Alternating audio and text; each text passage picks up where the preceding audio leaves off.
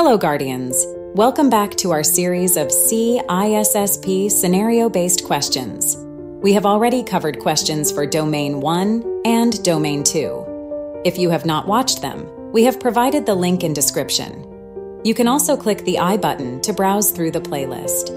We would appreciate your support to like the video, subscribe our channel, and share in community.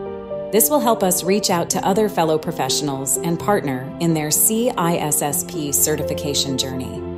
In this video, we will focus on Domain 3 Security Architecture and Engineering. In today's digital landscape, where cyber threats evolve rapidly, the need for robust, secure information systems is paramount. Security is no longer an afterthought. It must be woven into the fabric of system design, development, and operation. CISSP domain. 3 equips professionals with the knowledge and tools to do just that. Let us have quick overview of Domain 3. CISSP. Domain 3, Security Architecture and Engineering, concentrates on the principles, practices, and methodologies used to design, build, and maintain secure information systems. It emphasizes integrating security into the core aspects of system architecture and engineering processes. The objectives of this domain include understanding security models and frameworks, system architecture and design, security evaluation models, security engineering processes, security capability maturity models, security architectures, designs, and solution elements, vulnerability management, embedded security, cryptography and cryptographic systems, site and facility design for security. Domain 3 is highly relevant in the field of information security because it addresses the critical aspect of securing systems and infrastructure from the ground up. It ensures that information systems are designed and maintained with a focus on security, resilience, and the ability to withstand evolving cyber threats.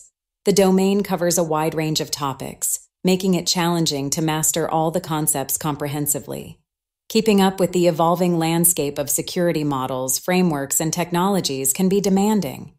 Implementing security measures, especially cultural and organizational changes, can be challenging within an organization.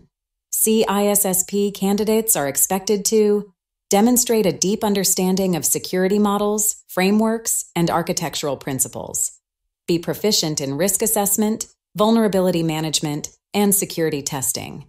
Possess extensive knowledge of cryptographic techniques and their practical application. Have the ability to design and maintain secure systems, facilities, and networks. Understand how to integrate security practices into the software development lifecycle. Recognize the significance of physical security measures for protecting assets Domain 3 plays a vital role in shaping C ISP certified professionals who can effectively contribute to the design, construction, and maintenance of secure information systems, an essential skill set in today's digital age. Domain 3 is crucial in understanding how to design, build, and maintain secure systems and applications. Let us go through some of the key concepts covered in this domain. Security models and frameworks. Security models. Understand various security models like the Bell LaPadula model and BIBA model, which help in structuring security policies. Security frameworks. Familiarize yourself with security frameworks such as ISO IEC 27001, NIST Cybersecurity Framework, and CIS controls, which provide guidance for organizing and managing security efforts. System architecture and design. Learn how to design and implement secure system architectures. This involves selecting the appropriate hardware, software, and network components while considering security requirements. Security evaluation models. Explore security evaluation models like Common Criteria, CC, and Evaluation Assurance Levels, EALs, to assess the security capabilities of systems and products. Security engineering processes. Understand the processes involved in security engineering, including risk assessment, security testing, and code reviews. These processes are crucial for identifying and mitigating security vulnerabilities. Security capability. Maturity models. Familiarize yourself with maturity models like the Capability Maturity Model Integration, CMMI, to measure an organization's capability to manage and improve its security processes. Security architectures, designs, and solution elements. Study various security architectures, designs, and elements, such as secure network architectures, data protection mechanisms, and secure coding practices. Vulnerability Management. Learn how to identify and manage vulnerabilities effectively. This includes vulnerability assessment, patch management, and remediation strategies. Embedded security in the design of systems and devices. Understand the importance of incorporating security features into the design of systems, devices, and applications from the beginning to ensure they are inherently secure. Cryptography and cryptographic systems delve into the world of cryptography, covering encryption, decryption, digital signatures, hashing, and key management. Site and facility design for security. Explore physical security considerations for data centers, server rooms, and facilities, including access controls, environmental controls, and backup power. Security of virtualization and cloud computing. Understand the unique security challenges posed by virtualization and cloud computing environments and the strategies to mitigate these risks. Security in the development lifecycle. Explore secure software development practices, including secure coding, threat modeling, and incorporating security into the software development lifecycle. Operation and maintenance of security systems. Learn how to operate and maintain security systems effectively, including continuous monitoring, incident response, and system updates. Physical security. Understand the importance of physical security measures, such as access control, surveillance, environmental controls, and secure facility design to protect against unauthorized access to physical assets. These key concepts in CISSP Domain 3 form the foundation for building secure systems, applications, and networks. Understanding and applying these concepts is critical for professionals in the field of information security and for passing the CISSP exam. Let us now move to our practice questions. You are a security consultant for a multinational corporation. The company is implementing a new cloud based infrastructure to support its global operations. They are concerned about the security of their data in transit and data at rest. Which of the following security mechanisms would best address these concerns in the cloud environment?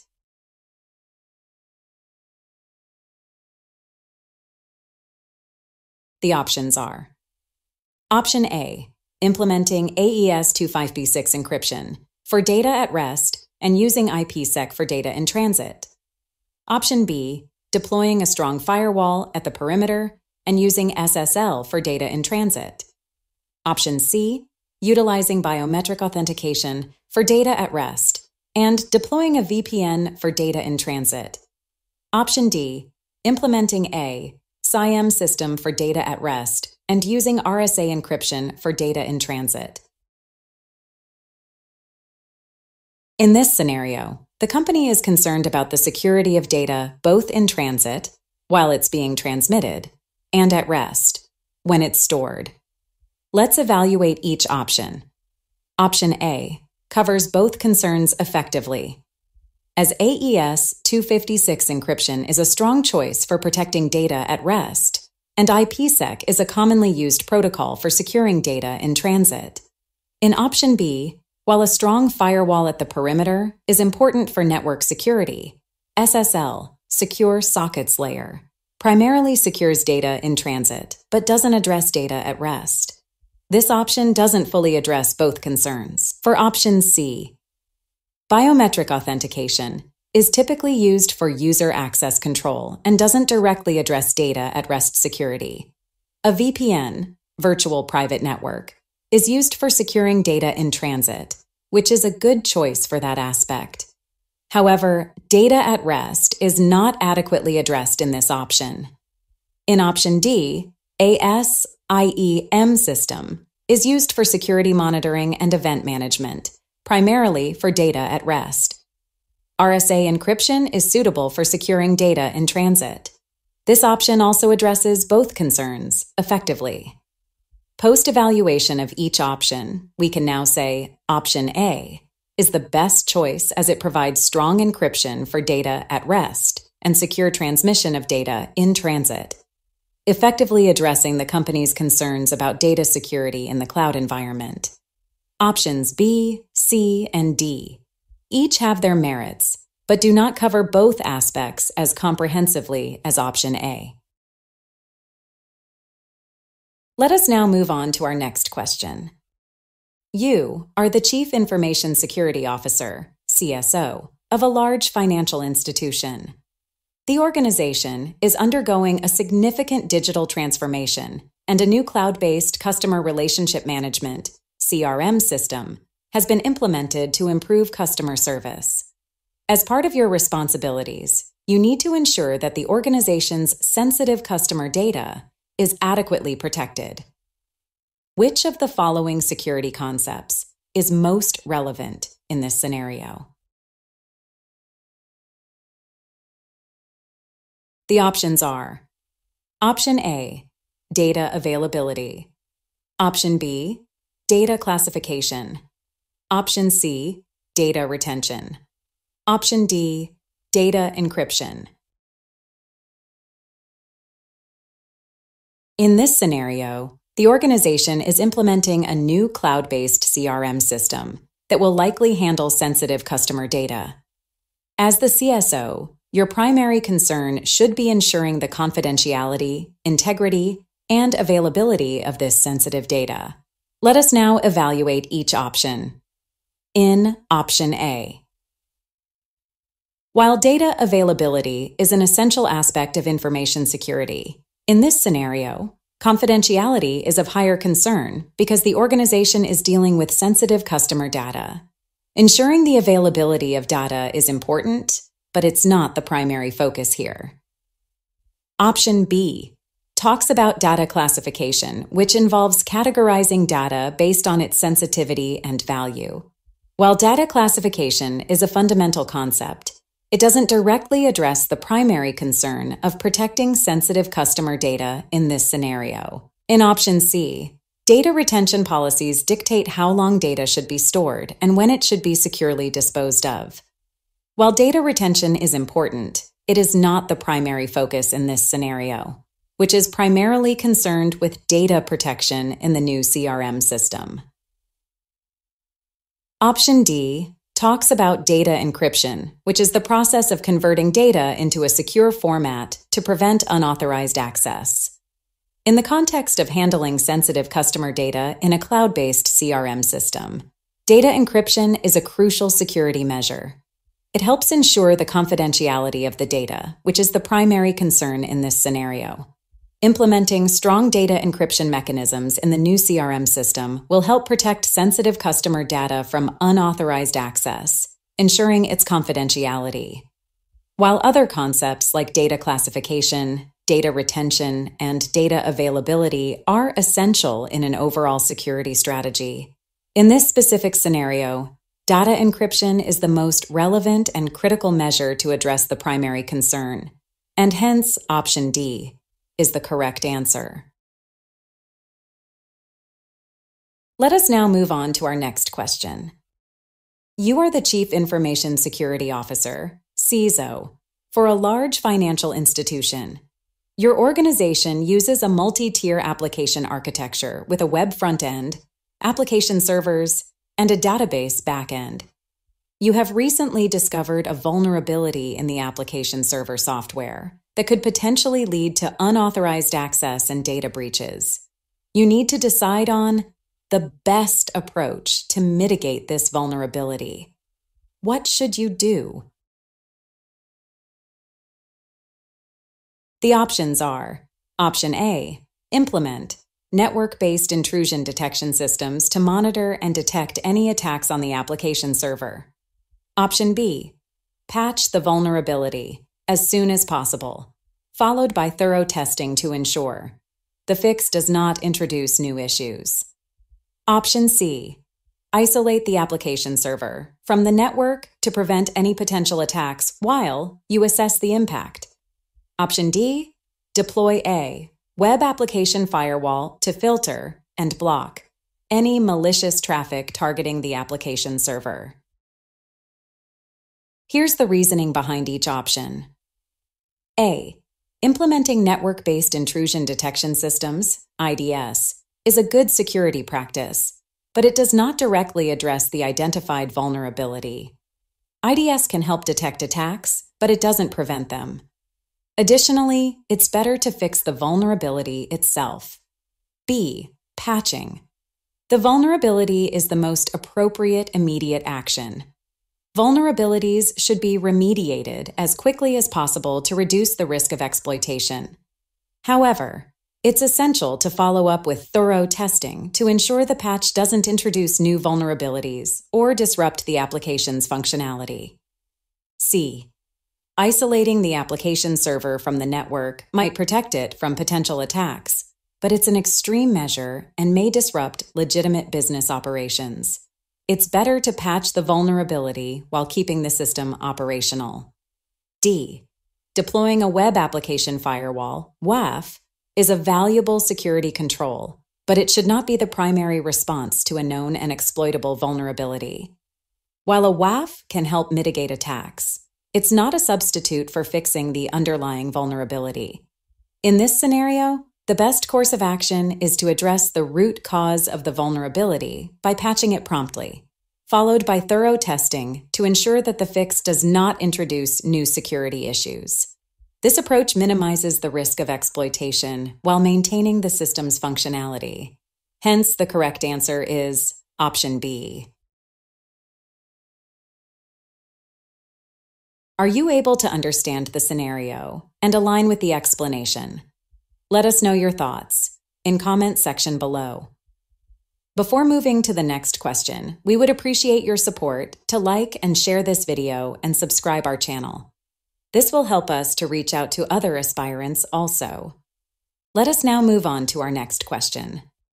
You are the Chief Information Security Officer, CISO, of a multinational corporation.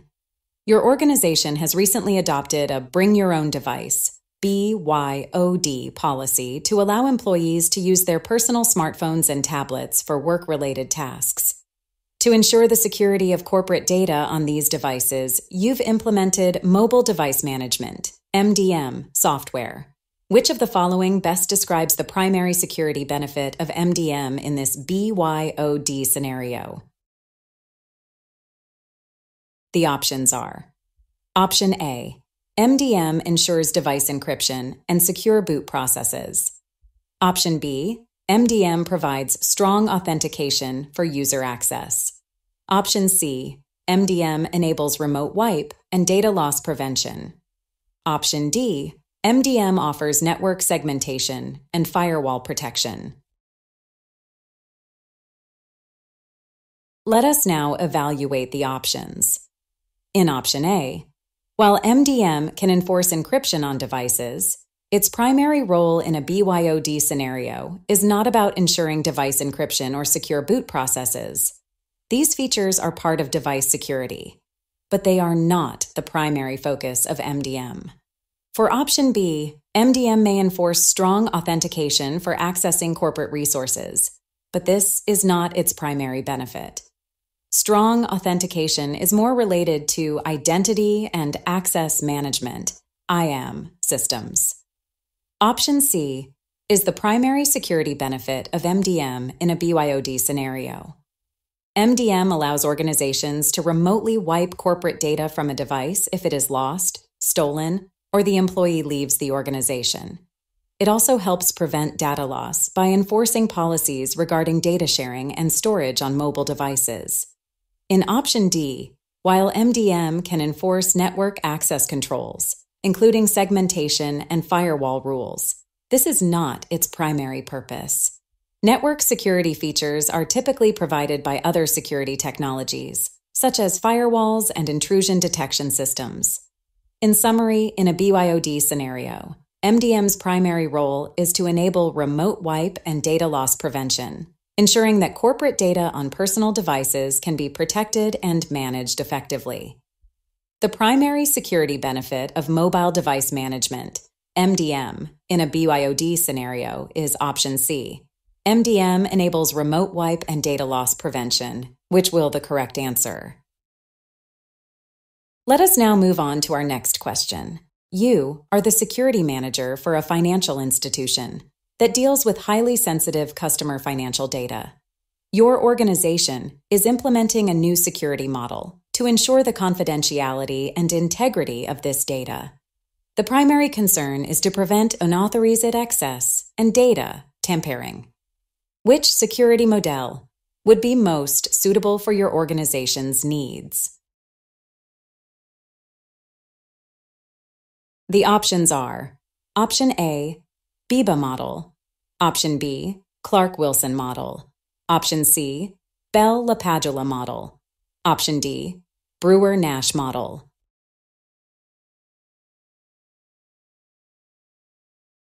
Let us try to understand application of each security model in the given scenario. Option A, BIBA model. The BIBA model primarily focuses on data integrity rather than confidentiality.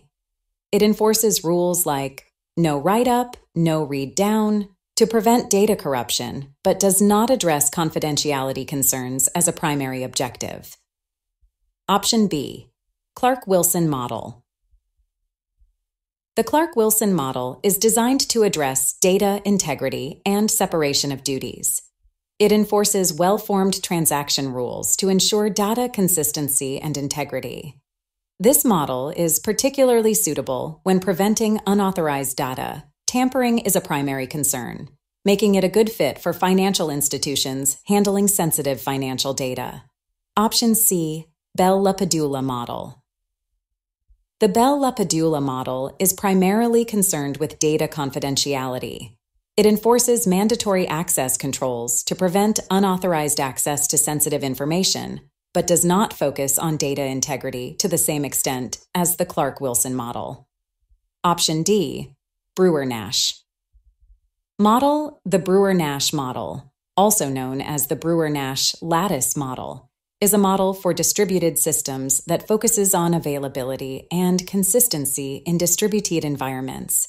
It is not primarily designed for ensuring confidentiality and data integrity in the context of sensitive financial data. In summary, the Option B Clark Wilson model is the most suitable choice when the primary concern is to prevent unauthorized access and data, tampering in a financial institution dealing with sensitive customer financial data, as it is specifically designed to address data integrity and separation of duties.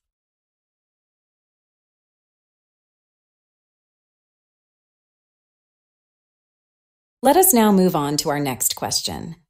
You are the information security manager for a financial institution. The organization is planning to implement end to end encryption for all customer transactions on its online banking platform. What cryptographic mechanism should you prioritize for this scenario?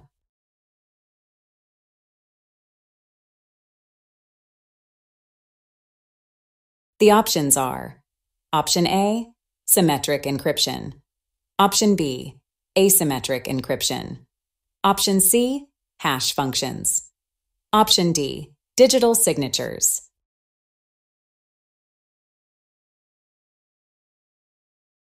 Let us try to define and explain each cryptographic mechanism and find the correct answer. Option A Symmetric encryption. Symmetric encryption is a cryptographic technique where the same key is used for both encryption and decryption. Symmetric encryption is efficient for securing the confidentiality of data, but it may not be the best choice for this scenario. Since the question mentions end to end encryption, which typically involves secure communication between two parties, for example, customer and bank, Managing symmetric keys securely for multiple transactions can be challenging. Option B Asymmetric encryption. Asymmetric encryption uses a pair of keys, a public key for encryption and a private key for decryption. Asymmetric encryption is well suited for this scenario.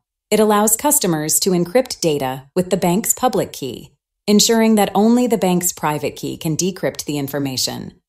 This mechanism provides confidentiality and data integrity while simplifying key management. Option C Hash functions. Hash functions are one way functions that take input data and produce a fixed size hash value, typically used for data integrity verification. Hash functions are not suitable for encrypting and decrypting customer transactions. While they are valuable for data integrity, they do not provide the necessary confidentiality required for securing customer financial data. Option D Digital signatures. Digital signatures are cryptographic techniques that provide authentication and data integrity by allowing the sender to sign a message with their private key. Digital signatures are important for verifying the authenticity and integrity of messages or transactions, but they are not used for end to end encryption. They complement encryption by ensuring the origin of the data and its integrity during transit.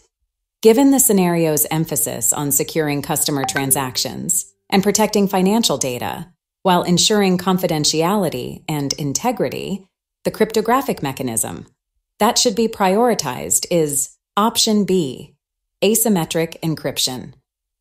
Asymmetric encryption allows secure communication between customers and the bank by using the bank's public key for encryption and its private key for decryption, ensuring data confidentiality and integrity during transit. If you find this video useful, do share in the community, subscribe to InfoSec Guardians channel, and don't forget to hit the bell icon to get new and updates on information security.